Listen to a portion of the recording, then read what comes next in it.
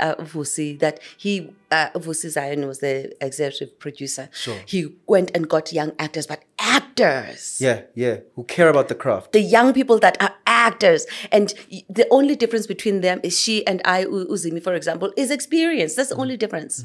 That's it. That's it. She has love for the craft. She's pushing. She's and and and I was like, okay, let me help you. I know where you're going. Let me help you. Um, whether she received me or not, I really will never know because yeah. I've not encountered her since. But I try to leave a part of me with her and the young man that played my son and the young lady that. So I try to leave a part of me with them because I know where they're going and I know yeah, how yeah. tough it's going to be for them in their principles. Now you're gonna encounter the influencer. and she said because she's pretty and she's got so many followers And likes. and likes. like, subscribe, and follow.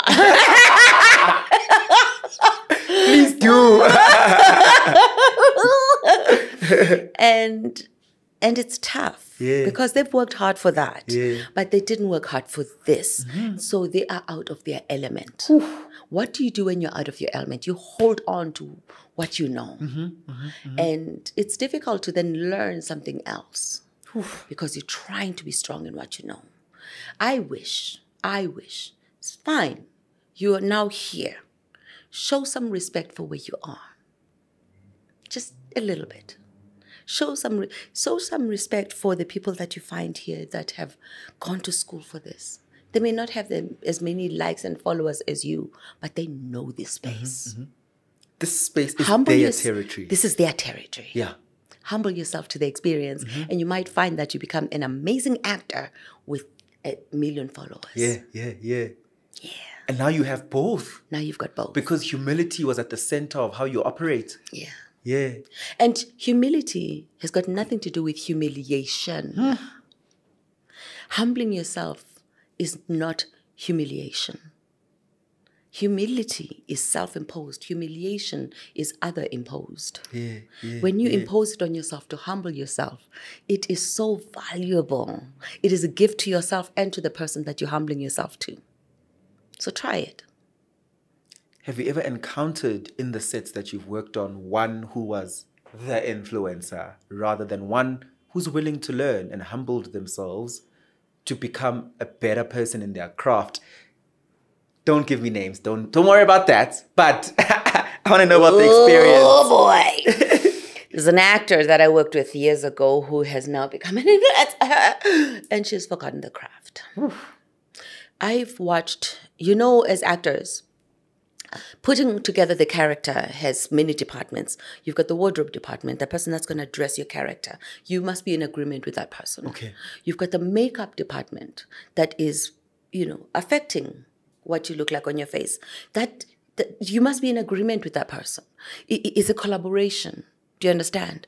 Um, you've got the, you know, the set people, the props, and um, the art department. That that's another level of collaboration. You've got the camera, the lights. It's all of them are collaborating with you to help you put together this character Yeah, yeah, yeah. and to capture the moment. Disrespecting any of those people is disrespecting yourself. Hmm. So I've seen these young ladies sitting on the makeup chair with their phones. They're and- live. And, they and the and they they they're like trying to be pretty on the phone doing a video call while the makeup person is trying to put your character together. Hmm. Putting your character together, that's how much you're undermining yourself and the person because they're not just doing your makeup for you to look pretty. They're, Putting your character together.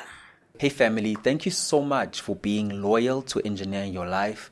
I know that if you're watching this, you're probably here for the second time or the third time. And please, if you're here for the second, third time, please may you kindly subscribe because if you subscribe, it helps us to get better conversation, get better guests, and get access to creating the best content that we can for you. So please don't forget to subscribe and make sure you continue watching this episode. And you're absent for it. For the formation of your character, you absent. The foundation, you owuko mm-hmm. Yeah. And then they're gonna go to the director and like, look what she did to my makeup. Look, look, look what she did to my face. My makeup is all wrong. You were talking while she was trying to put lipstick on you. You were disrespecting the person who is assisting you. And you think a million followers, those million people don't know your character. Hmm. And we've just experienced your character and we do not like it. Hmm. So, uh, yes, I have experienced such people on set. And oh my gosh, they're flashing on my face right now as I'm speaking. It's quite a number of them. it's taking, it's taking a lot for me to not say what, you know, the names. But um, yes, I've, I have encountered it. And I find that the boys are easier to deal with than the girls. Sure. Yeah. And that's because the girls have a lot of pressure on them. Yeah, yeah. Yeah. So we must give them grace. Yes. I wish they'd give themselves grace, though. Grace comes from within. Yeah. You're very open about, uh, and I don't think you'll have to correct me, but I'll see if I get it right. You're 57 years old, I am. um, which means you're probably in the best years of your life because there's a lot of self actualization. The more we mature in stages beyond age, we, we become who we are and we know who we are so much. I am an introvert of introverts. Like among introverts, I'll still be the introverted one in the group. I know, I know. And I'm going to tell you, um, yes, I'm going to explain it to you. Then I just, don't give me that face. um, I grew up like that. And I grew up the observer, sitting in the corner. And I was not unhappy in the corner. You must understand. So when you see somebody sitting in the corner, please, they're not unhappy. That's who they are. That's, that's, they're living it and I live vicariously through all the extroverted person. I'll give you an example. I remember um, the first time that I worked on Generations, they used to have Friday night parties. So after rap on Friday, the drinks and whatever. And I remember Brenda Fassie shows up, and she and I are sitting at the table, and we're both doing the same thing, like recoiling into a corner, and we're both sitting there like this Yeah, yeah. you know and and then we struck a conversation and then we got like close with each other and we just chatted away and blah, blah, blah, blah, blah, blah. and so somebody saw her being animated and me being animated and thought oh yeah they're awake but it was because we were with each other that we formed a trust moment and we could then just you know open up a little bit more Correct. and now they wanted to perform. She looks at me, she goes, Okay, I gotta do this. And then she gets on the table and goes, ah, and she does all of that. And I knew she was putting it on. When I came in, I needed a moment. I don't know if you remember. I yeah. I needed Sure. a moment Sure, sure. and that's a moment to okay you don't know these people it's okay you are safe i needed to embrace myself Mm-hmm. to calm myself to be able to be open with you otherwise i would not be able to have this conversation so this is something that i have learned to do for myself so that because the interviews are part of what of, of my job yes Yeah, it's part yeah, of what i do so and i avoid them like i don't That's why I said we're very privileged. I don't like talking to strangers. I Yes, really do not. yes, I, yes. and um, and it's not because I don't like you. Mm-hmm. It's because I just feel more comfortable with myself, Mm-hmm. by myself, and the people that I know. So now I know you. yeah, yeah. But that's because I counseled myself into a space where sure. I'm like, okay, he, his name is Lungelo. He's like, Yeah. we, we we like Lungelo. We're okay with Lungelo. We'll find out more about him. yeah. okay, what do you want to know?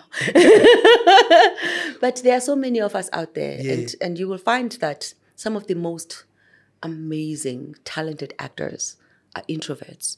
Because what do we do? We study human behavior and we reflect it on society. And you can't learn anything with your you can't hear anything with your mouth open. Yeah, yeah. Eesh. One of the biggest things that has come to light in my personal life, in my journey of um, becoming who I am, uh, what is that? Who is that?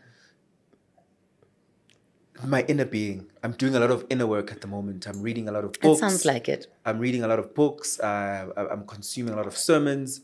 I'm consuming a lot of positive podcasts. Right. Um, uh, and one of the biggest things that has struck me is finding my community, finding my community of of like-minded people. And when I say like-minded people, you know, when we're growing up, we think it's only family that you must love and embrace and bring close in. Yeah. So you're finding a tribe outside of your Right? family. I'm finding a tribe. And I the way I'm layering this conversation is in finding my tribe, how important has friendship been for you in finding tribes? so your question is, in finding tribes, how Yeah. has um, Friendship, Friendship being so important. Would you say friendship is important? Or actually, the more mature I become, I'm like, "Mm, friends are a waste of time. actually you do have friends, and those friends are within your family. Okay. I was raised like that. I was raised where um, um, my parents, their generation, they were friends with each other. And so when they visit each other, then their kids become my friends. I hear you. I hear you. And I remember one time my grandmother, there, there's a family across the road from our farm, and they, they had kids there, and I wanted to play with them. And I would be swinging on the gate and like, oh my gosh, I wish I could go there and play with those kids. I don't know them. I want to know them. And I went to, Mama and I said, Mama, ndicela udlala ngabe." and she went, oh mntana, what did I do wrong? Yeah. What is it out of everything that I've provided for you here that I did not do that you have to go and look for it over there? That was the last time I asked to go out. Look, she was so sad. I'm like, I caused her hurt. Yeah. I hurt her. I will never do that. Mm-hmm. you know? And for me, my family, my cousins, those are my friends. Those are the people that I know uh, anytime, any day. Anytime, any day. Mings and I are like the same age.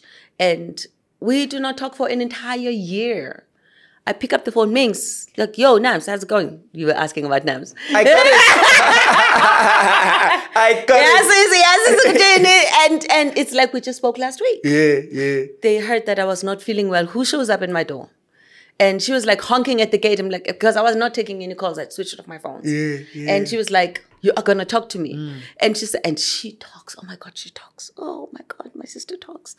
And she sat there, pulled up a chair, sat next to my bed, and continued talking nonstop. Like, so the only way I can get her to shut up is if I get up from this bed, right? I guess I'm getting up. she got me out of bed. And that was the community you needed at the time that That's- you didn't know you needed. Yeah. And that's the value of friendship that you found in your sister. So I do have friends outside of my blood family. yeah. Um, some of them understand that I'm quiet Mm-hmm. and I don't, I don't reveal myself. I don't. I'm not that open. Um, but there's another friend of mine whom I love so dearly, Sonia, and she's also similar to me. And I'm like, and I've been thinking about her a lot lately. But I did not pick up the phone. And I bet you she's thinking about me a lot lately. yeah. And she's not picking up the phone. spiritual connection. It's a spiritual connection. We're Yeah, good. yeah. But um, I'm like, okay, no, no, I, I, you need to call Sonia. Yeah, okay, I should. Two days go by. You really need to call Sonia. Yeah, yeah, you're right. We have not had a beef. There's no fight, nothing. But that's who I am. My heart, my soul. It's all compacted in here, and I'm I'm okay with that. We young people, uh, maybe once again, it's Joburg hustle culture, but we're struggling with longevity of friendships. You speak like you saying that you can go a year without speaking to people you you love, and you pick up the phone and they're there at your doorstep because they'll they'll show up for you when it matters. Mm. Yeah, right. yeah. What do you think we nowadays? There's a lot of struggles in friendships, and we even see public friendships fall out in our faces. Yeah, like why why do you do that to yourself? Um, do you know I I do have um friends that are i- that are in the public eye, but nobody okay, now everybody knows that Phil is my friend. But for years nobody knew about that. And I think we got we posted a picture of the two of us being like so relaxed and people went, You know each other? Yeah, and we're like 15, 20 years apart, but we are like he's Yeah. he's my he's my boy. Yeah, He's yeah. like he's my boy. Yeah. And and you know so he is of a different generation almost. Like it's like on the you know edge there. But I think what has happened right now, and it's happened, and I watch it. I watch a lot of um, social media in the you know U.S. and Canada based, and it's pa- placing so much value in me, me, me, me, me, and my feelings, hmm. and not the correct one. It's not the honoring of self. It's not the respecting of self, because the respecting of self encourages me to respect you. Yeah. Honoring of myself encourages me to honor you because it extends out. Do you understand? But the way that they're doing it right now is you must acknowledge my feelings. You must honor me. I demand that. And what happens is if both of us are of the same way of thinking, who's going to honor who? Who's going to respect who? Hmm. Then we walk away from each other because now we are the same ball, the same hard ball bouncing off of each other. Mm-hmm. It's not going to work. There's a reason why we've got the yin and the yang and the give and the take. Because this moment is yours, the next moment is mine. Do you understand? It's the seesaw of life. And if we balance it, then we can both have